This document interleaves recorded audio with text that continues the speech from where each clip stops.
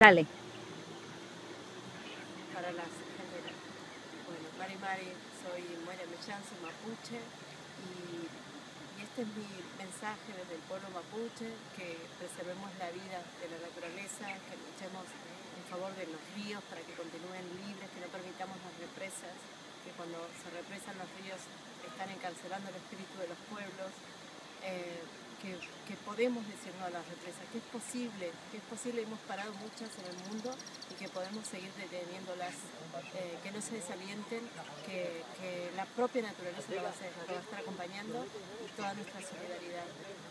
Marichueu.